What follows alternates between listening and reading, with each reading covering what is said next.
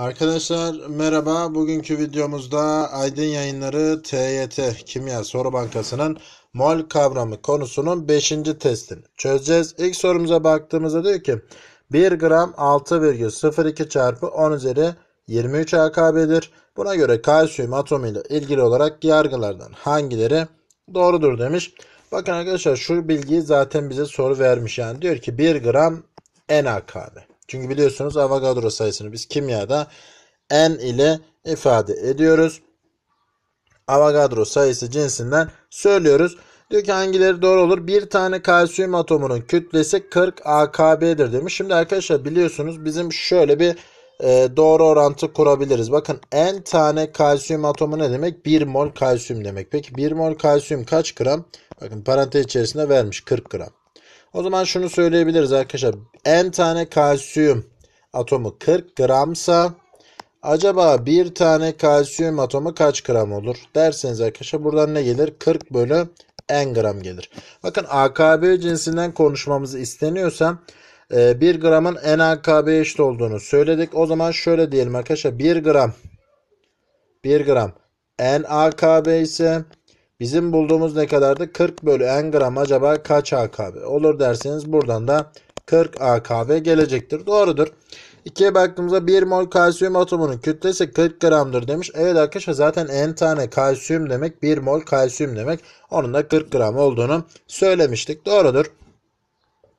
3'e baktığımızda bir tane kalsiyum atomunun kütlesi 6,02 çarpı 10 üzeri 23 bölü 40 gramdır demiş. Bakın biz onu da söyledik. Bir tane kalsiyum atomu 40 bölü n gram geldiğini söyledik. Yani 40 bölü n'den kastım da 6,02 çarpı 10 üzeri 23 gram demektir. Bu tam tersini söylemiş. Yanlış olmuş. Cevabımız C şıkkı olur.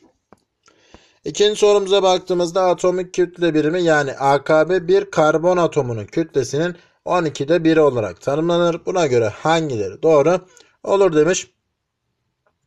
Birinci öncüle baktığımızda diyor ki bir tane karbon atomunun kütlesi 12 AKB'dir demiş. Şimdi arkadaşlar bakın yine tekrar söylüyorum. AKB ile ilgili sorularda şunu söyleyebilirsiniz. N tane karbon atomunun kütlesi yani 1 mol karbon atomunun kütlesi 12 gramsa bakın şurada zaten 12 olduğunu söylüyor. Acaba bir tane karbon atomunun kütlesi ne kadar gelir derseniz buradan 12 bölü n gram gelir.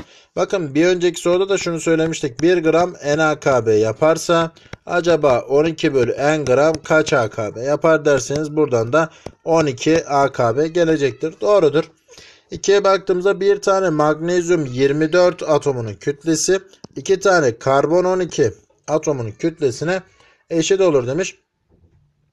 Bakın arkadaşlar şöyle söyleyebiliriz. N tane magnezyum atomunun kütlesinin 24 gramsa bir tane magnezyum atomunun kütlesi ne kadar olur? 24 bölü n gram olur. Peki karbon 12 atomun kütlesinde şunu söyleyebilir miyiz? Bir tane karbonun kütlesi 12 gram şey n tane karbon 12 gramsa bir tanesi 12 bölü n gramda o zaman iki tanesi de ne olur? Yani şunu söyleyelim. iki tane karbon atomunun kütlesi de 2 çarpı 12 bölü n'den yani 24 bölü n gram olacaktır. Doğru mudur? Doğrudur. 3'e bakarsak oksijen 16 atomunun kütlesi karbon 12 atomunun kütlesinin 4 bölü 3 katına eşittir demiş. Şimdi arkadaşlar şunu söyleyebilirsiniz. Bakın n tane oksijen atomunun kütlesi 16 gramsa acaba bir tane oksijen atomunun kütlesi ne kadar olur derseniz 16 bölü n gram olur. Karbon için aynı şeyi konuşursak n tane karbon atomun kütlesi 12 gramsa bir tane karbon atomunun kütlesi 12 bölü n gram olur. Bize diyor ki oksijen atom kütlesi karbon atom kütlesinin 4 bölü 3 katına eşittir. O zaman şunu söyleyebiliriz. Bakın acaba 16 bölü n 12 bölü n'in 4 bölü 3 katına eşit mi? Buradan arkadaşlar sadeleştirme yaparsanız 4 çarpı 4'ten 16 bölü n gelir. Yani birbirine eşit olur. Bu da doğrudur. Cevabımız E şıkkı olur. Üçüncü sorumuza baktığımızda bir azot atomu 14 bölü 6,02 çarpı 10 üzeri 23 gram olduğuna göre hangileri doğru olur demiş. Bakın arkadaşlar şunu söyleyebilirsiniz. Hani kısaca 6,02 çarpı 10 üzeri 23 gördüğünüz yere n yazabilirsiniz. Yani diyor ki bir tane azot atomu Buraya N demeyelim çünkü azotun simgesi de N olduğu için karışabilir. O yüzden şuraya Na diyorum arkadaşlar. Çünkü biliyorsunuz Avogadro sayısı Na ya da N şeklinde ifade edilebiliyor. O zaman şöyle diyelim. Bir tane azot atomu 14 bölü Na gram ise acaba Na tane azot atomu ne kadar olur derseniz buradan arkadaşlar içler dışarı çarpımı yaparsanız 14 gram gelir. 14 gram. Bize demiş ki bir tane azot atomu 14 AKB'dir demiş. Şimdi arkadaşlar şunu gramdan AKB'ye geçerken de şöyle bir bilgi vermiştik. 1 gram NAKB'ydi. Bizim bulduğumuz 14 gram. O zaman 14 gramda ne olur? 14 NAKB olur. Yani birinci öncül yanlış olmuş. 2'ye bakarsak 1 mol azot gazı 28 gramdır. Arkadaşlar bakın azot gazı diyor. Azot doğada N2 halinde bulunur. Azotun 1 molünün kütlesini biz bulduk 14 gram. Dolayısıyla 2 çarp 14'ten evet 28 gram e, azot gazı var deriz. Doğrudur. 3'e bakarsak 1 atom gram azot 1 gramdır demiş. Arkadaşlar atom gram ne demek onu söyleyelim. Arkadaşlar atom gram kavramı görürseniz bu mol atom demektir. Yani şunu söyleyelim. Şunu demek istemiş. 1 mol azot atomu 1 gramdır diyor. Hayır arkadaşlar 1 mol azot 14 gram demeliydi. Bu da yanlış olmuş. Cevabımız sadece 2 olur. Dördüncü sorumuza baktığımızda diyor ki yukarıda verilen maddelerin kütleler arasındaki ilişki hangisine doğru olarak verilmiştir diyor. Bir atom gram oksijen biraz önce de söyledim. Bir atom gram demek. 1 mol oksijen atomu demek. Arkadaşlar biliyorsunuz 1 mol oksijen atomu da parantez içerisinde zaten verilmiş. 16 gram yapıyor. 2'ye bakarsak bir tane oksijen molekülü demiş. Arkadaşlar hemen şunu söyleyebiliriz. Bakın n tane O2 molekül 32 gramsa acaba bir tane O2 molekül ne kadar olur? 32 bölü n gram gelecektir. 3'e bakarsak 2 tane oksijen atomu demiş. Yine arkadaşlar n tane oksijen atomu 16 gramsa acaba 2 tane oksijen atomu kaç gram olur derseniz 32 bölü n gram olur. 4'e bakarsak 16 gram oksijen gazı demiş. Zaten 16 gram olduğunu belirtmiş. Yani kütle olarak gramcesinden gidersek. Dolayısıyla sıralarsanız arkadaşlar bakın 4 ile 1'in eşit olduğunu görürsünüz. Yani bu da 16 gram bu da 16 gram. E, 2 ile de 3'ün eşit olduğunu görürsünüz. Bu da 32 bölü n gram bu da 32 bölü n gram. O zaman cevabımız C şıkkı olur. Beşinci sorumuza baktığımızda diyor ki bir atomunun kütlesi 4,5 çarpı 10 üzeri eksi 23 gram olan bir X elementinin bir molü kaç gramdır demiş. Şimdi arkadaşlar bakın bir atomunun kütlesini vermiş. O zaman şunu söyleyebiliriz. Bir tane X 4,5 çarpı 10 üzeri eksi 23 gramsa acaba bakın Avogadro sayısında vermiş. 6 çarpı 10 üzeri 23 tane X kaç gram gelir? derseniz burada arkadaşlar içler dışarı çarpma yaparsanız 10 üzeri 23 ile 10 üzeri eksi 23 birbirini götürecektir. 6 ile de 4,5 çarparsanız ne olur 27 gram gelecektir. Yani arkadaşlar 27 gram olduğunu söyleyebiliriz. Bize diyor ki 1x elementin 1 molü kaç gramdır? Yani aradaki bağıntı istemiş. O da nedir arkadaşlar? 6 çarpı 4,5'tur. Cevabımız B şıkkı olur. Altıncı sorumuza baktığımızda bir X atomunun kütlesi 7 bölü 3,01 çarpı 10 üzeri 23 gram olduğuna göre normal koşullarda 4,48 litre X2 gazının kütlesi kaç gram olur demiş. Şimdi arkadaşlar bakın öncelikle şunu belirtelim. Na dediğimiz Avogadro sayısının değeri 6,02 çarpı 10 üzeri 23'tür. Hani soru vermemiş ama genelde ÖSYM sorularda verir. Onu da belirteyim. O zaman sorumuzun şu olması lazım arkadaşlar. Bakın size bir tanesinin kütlesi veriliyor. Yani bir tane X atomunun kütlesi 7 bölü 3,01 çarpı 10 üzeri 23 gramsa acaba 6 çarpı yani 6 çarpı demeyeyim de şöyle diyeyim. Çünkü küsuratı da var ya yani şurada 3,01 olduğu için buraya da küsurat alırsak daha doğru olacaktır. Yani 6 virgül arkadaşlar şurayı bir düzelteyim. Evet şöyle alsak daha doğru olur. 6,02 çarpı 10 üzeri 23 tane x acaba kaç gram gelir? Buradan arkadaşlar gerekli işlemleri yaparsanız yani sadeleştirmeleri yaparsanız zannediyorum 14 gram gelmesi gerekiyor. Yani bir tane X'in pardon N tane X'in yani 1 mol X'in 14 gram olduğunu bulabiliriz. Bir diyor ki normal koşullarda 4,48 litre diyor. O zaman arkadaşlar biz X'in emasını bulduk aslında. 14 bulduk. Ve bizden normal koşullarda 4,48 litre X2 gazı hakkında bilgi isteniyor. O zaman 4,48'i biliyorsunuz gazlar normal koşullarda 22,4 litre hacim kaplar. Bu da ne yapar arkadaşlar? 0,2 mol X2'ye tekabül eder. Bakın biz X hakkında bilgi bulduk. Bizden X2 bilgisi veriliyor. Gazının kütlesi isteniyor. O zaman arkadaşlar bakın burada ne kadar X var? 0, 2 çarpı 2'den 0, 4 mol X atomu var. Bakın 1 mol X'in 14 gram olduğunu biliyoruz. O zaman 1 mol X atomu 14 gramsa acaba 0,4 mol X kaç gram olur derseniz buradan da 5,6 gram gelir arkadaşlar. Cevabımız C şıkkı olur. Yedinci sorumuza baktığımızda diyor ki aşağıdakilerden hangisinin kütlesi en büyüktür demiş. Evet tek tek bakacağız arkadaşlar. 0,5 mol klor atomu demiş. Klorun eması da verilmiş. O zaman 0,5 çarpı 35 derseniz buradan da zannediyorum 17,5 gram gelmesi gerekiyor. İkiye bakarsak bir tane klor atomu demiş. Arkadaşlar normalde bakın Avogadro sayısı da verilmiş. Biz ne diyoruz? 6,02 çarpı 10 üzeri 23 tane klor atomu 1 mol yapar yani 35 gramdır. Acaba bir tane klor atomu ne kadar olur derseniz buradan da 35 bölü işte Na diyelim kısaltalım. 35 bölü Na gram olur. C şıkkına bakarsak 3,01 çarpı 10 üzeri 23 tane klor molekülü demiş. Bakın burada atom diyor. Burada molekül ona da dikkat edelim. Yani Cl2'den bahsediyor. Buralarda Cl'den bahsediyordu. Evet bu da e, arkadaşlar bakın 3,01 çarpı 10 üzeri 23'ü Avogadro sayısına bölerseniz 0,5 mol gelir. Yani 0,5 mol klor molekülünden bahsediyor. O da ne yapar? 1 mol klor demektir. Yani 35 gram yapacaktır. Deniz diye baktığımızda 1 gram klor gazı demiş. Şimdi zaten kütleyi direkt vermiş arkadaşlar. 1 gram olarak direkt alabiliriz. Edirne'ye bakarsak diyor ki arkadaşlar 35 AKB klor atomu demiş. Bakın AKB olduğunda şu bilgiyi kullanın demiştik. 1 gram NAKB ise acaba 35 AKB kaç gram gelir?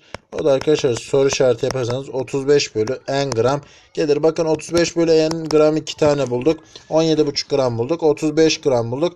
Hangisinin kütlesi daha fazladır demiş. O zaman şunu söyleyebilirsiniz arkadaşlar. Bakın burada klor atomu 35 gram Pardon burada 35 bölü Na gram geldi. Özür diliyorum. Burada en fazla 35 gram gelen de C şıkkında görülüyor. Cevabımız C şıkkı olur. 8. sorumuza baktığımızda diyor ki 32 Na çarpı AKB yukarıda verilenlerden hangilerine eşit olur demiş. 1 mol O2 molekülünün kütlesi demiş. Arkadaşlar 1 mol O2'de biliyorsunuz 2 mol oksijen atomu vardır. 1 mol oksijen 16 ise 2 mol oksijende ne yapacaktır? 32 gram yapacaktır. Peki e, bu 32 NaKB yapar mı? Ona gelelim şimdi. Arkadaşlar 1 gram dediğinizde NaKB anlayın dedik. O zaman 32 gramda da ne anlayacağız? 32 yani 32N AKB anlamamız lazım. Yani istenen şeyi sormuş. Doğrudur. İkiye bakarsak bir tane kükürt atomunun kütlesi demiş. Arkadaşlar bakın şu, burada şu soruyu artık sorabiliriz. N tane kükürt yani 1 mol kükürt atomu 32 gramsa acaba bir tane kükürt atomu ne yapar? 32 bölü N gram yapar. Biz şunu da biliyoruz arkadaşlar. 1 gram kükürt NAKB ise acaba 32 bölü N gram kükürt kaç AKB yapar derseniz buradan da 32 AKB gelecektir. Olmamış. Üçüncü öncüle bakarsak 0,5 mol SO2 gazının kütlesi demiş. Arkadaşlar SO2'nin kütlesini hesaplarsanız bakın 32 kükürtten geliyor. 2 çarpı 16 32 de buradan 64 yapıyor. Yani 64 çarpı 0,5'ten 32 gram gelir. E zaten bakın biz birinci öncüde de 32 gram oksijen üzerinden gitmiştik. AKB'ye çevirince ne geldi? 32 NAKB geldi. O zaman bu da doğrudur. Cevabımız B şıkkı olur. 9. sorumuza baktığımızda normal koşullarda 8,96 litre hacim kaplayan X2 gazı A gramsa bir tane X atomun kütlesi kaç gram gelir demiş. Bakın şu bilgi önemlidir arkadaşlar. Biz ne diyorduk? 1 mol gaz normal koşullarda 22,4 litre hacim kaplar. O zaman şunu söyleyelim. Normal koşullarda 8,96'yı 22,4'e bölerseniz o da 0,4 mol yapacaktır. Yani 0,4 mol X2 A gramsa acaba 1 mol X2 kaç gram gelir derseniz buradan da arkadaşlar 2,5 A gram gelecektir. Bakın bizden istenen arkadaşlar nedir? Bir tane X atomunun kütlesidir ama biz 1 mol'ü bulduk. Yani şunu söyleyebiliriz o zaman. Na tane X2 2,5 A gramsa acaba bir tane X2 atomu kaç A gram gelir derseniz buradan da arkadaşlar ne gelecektir? Tabi burada x atom üzerinden gideceğiz. Burada x2 aldık. Onu da e, düzelteceğiz birazdan. 2,5 bölü na gram gelir arkadaşlar ama x2 üzerinden gittik. O zaman ne yapmamız lazım? Bir de bunu 2'ye bölmemiz lazım. O da ne gelir? 1,25 a bölü na gram gelecektir. Bakın şuradaki a'yı da unutmayalım şurada. Evet arkadaşlar böyle bir seçenek aramamız lazım. Bakın seçeneklere baktığınızda A şıkkında 5A bölü 4 NA demiş. Arkadaşlar biliyorsunuz 5'i 4'e bölerseniz 1,25 gelir. Yani 1,25 A bölü NA gram demek istemiş. Dolayısıyla cevabımız A şıkkı olur. 10. sorumuza baktığımızda yukarıda verilen maddelerin kütlelerine göre sıralanışı hangisine doğru verilmiştir demiş. 32 AKB O2 molekülü. Bakın AKB görürseniz grama çevirin arkadaşlar kütle derse 1 gram NAKB'dir. Dolayısıyla arkadaşlar 32 AKB'de kaç gram yapacaktır? 32 bölü n gram yapar. İkinci öncüle bakarsak 10 tane O2 molekülü demiş. Arkadaşlar biliyorsunuz kimyada n tane O2 32 gramsa acaba bir şey, 10 tane O2 kaç gram yapar? O da arkadaşlar 320 bölü n gram gelir. Üçüncü öncüle bakarsak 1 mol O2 molekül demiş. 1 mol O2 arkadaşlar 32 gramdır. Biz şunu da biliyoruz. 1 gram N AKB ise 32 gramdan olur. 32 N AKB olur. Buradan arkadaşlar değerlere baktığınızda kütle sıralaması yaparsanız ne olacaktır? Sıralamanız 3 en büyük daha sonra 2 en sonunda 1 şeklinde sıralanması gerekiyor. Yani 32 en AKB en fazla sonra 320 bölü n gram en sonunda 32 bölü n gram gelir. Cevabımız C şıkkı olur. 11. sorumuza baktığımızda aşağıda verilen çiftlerden hangisinin madde miktarı eşit değildir demiş. Evet tek tek bakacağız arkadaşlar. A şıkkına baktığımızda diyor ki 32 AKB bir tane O2 ile birbirine eşit midir? 32 AKB ne demek arkadaşlar? Önce onu konuşalım. Biliyorsunuz 1 gram NAKB yapıyordu. O zaman 32 AKB'de ne yapacaktır? 32 bölü n gram yapacaktır. Peki bir tane O2'yi konuşursak arkadaşlar n tane O2 32 gramsa acaba bir tane O2 ne yapar? 32 bölü n gram yapar. Yani bunlar birbirine eşit olur. 2'ye bak B şıkkına bakarsak 64 NaAKB ile 1 mol SO2 demiş. Bakın AKB'yi yine grama çevirin arkadaşlar. 1 gram NaAKB ise acaba 64 NaAKB kaç gram yapar derseniz n'ler gider. 64 gram gelir. 1 mol SO2 de hesaplarsanız SO2'nin hemen zaten 64 gelir. Dolayısıyla 1 mol SO2 de 64 gram yapar. Eşittir. C şıkkına bakarsak normal koşullarda 11,2 litre O2 arkadaşlar normal koşullarda 11,2 22,4'e bölerseniz 0,5 mol O2 gelir. Bakın bu da 0,5 mol O2 eşittir. D şıkkına bakarsak 16 bölü Na gramla bir tane O2 demiş. Hemen bakın burada gram zaten veriyor. O zaman şunu grama çevirelim. Yani şöyle bir soru sorabiliriz. N tane O2 32 gramsa acaba bir tane O2 32 bölü N gram yapar. 16 bölü N gramla da 32 bölü N gram aynı değildir. Yani miktarları eşit değildir. E şıkkına bakarsak 32 gram O2 bu kalsın. Şunu çevirelim. Bakın o zaman şunu sorabiliriz. Na tane SO2 64 gramsa acaba Na bölü 2 tane SO2 kaç gram olur derseniz bölerseniz de buradan 32 bölü 32 Na 32 Na gram gelecektir. Ee, buradan da arkadaşlar yani bir düzeltme yapalım. Na tanesi Na tanesi o ki 64 gramsa 2'ye böldüğünüzde evet 32 gram gelecektir. Bu da eşittir. Dolayısıyla cevabımız D şıkkı olur arkadaşlar. 12. sorumuza baktığımızda hidrojenin atom ağırlığı 1 ve Avogadro sayısı Na olmak üzere 2 bölü Na değeri hangisine eşit olur? Ben direkt cevap üzerinden gideceğim. Bakın 1 gram H2'nin molekül sayısı demiş. E, A şıkkına baktığınızda da bir hidrojen molekülün kütlesi biraz birbirine benziyor gibi gözükse de bakın arkadaşlar bir hidrojen molekülün kütlesi ne demek? Na tane hidrojen molekülü 2 gramsa acaba bir tane hidrojen molekülü kaç gram olur dersiniz. Buradan 2 bölü n gram gelir. Bizden istenen değerdir. Dolayısıyla cevabımız A şıkkı olur. Arkadaşlar videomuzu burada sonlandırıyoruz. Bizleri takip etmeyi, kanalımıza abone olmayı, videolarımızı beğenmeyi unutmayınız. Hepinize kolay gelsin.